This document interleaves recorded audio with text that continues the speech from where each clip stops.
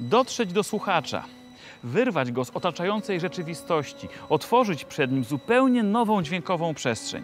Krystyna Moszumańska-Nazar powiedziała kiedyś, że najważniejszą rzeczą w propozycji, jaką składa się słuchaczowi, jest osiągnięcie takiego wyrazu, który umiałby go poruszyć.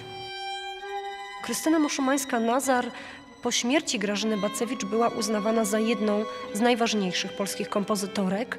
No, to była niewątpliwie wspaniała osoba.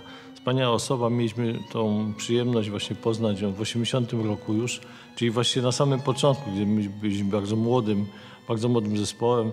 Em, To była, robiła zawsze wrażenie takiej pani niezwykle dystyngowanej, niezwykle eleganckiej i taką czuło się od razu pewną, nazwijmy to, klasę. To jest już y, utwór z okresu dojrzałego twórczości, gdzie y, Moszumańska-Nazar posługuje się własnym językiem muzycznym. Są momenty, gdzie są takie bloki akordowe, powtarzane, urytmizowane. I to stwarza, że to brzmienie kwartetu jakby rośnie do brzmienia takiego, no powiedzmy, orkiestry e, kameralnej.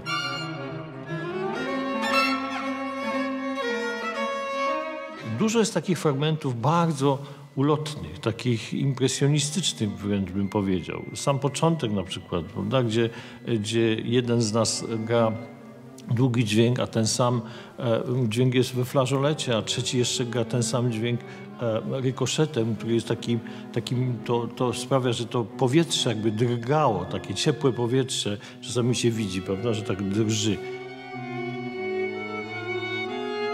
Dla niej nie jest ważne to, żeby osiągnąć jakiś efekt, żeby stosować niekonwencjonalne techniki, ale to, żeby wypowiedzieć swoją prawdę, swoje poczucie piękna, wyrazić w utworze. I myślę, że właśnie w tym utworze kompozytorce udaje się to zrobić. To nie jest łatwy utwór. Nie da się go słuchać jednym uchem. Ale 20 minut skupienia bez internetu, telewizji czy telefonu w zamian za możliwość oderwania się od codziennych spraw i wejścia w ten pełen emocji świat trzeciego kwartetu smyczkowego, hm, myślę, że na taką propozycję Krystyny Moszumańskiej-Nazar naprawdę warto przystać.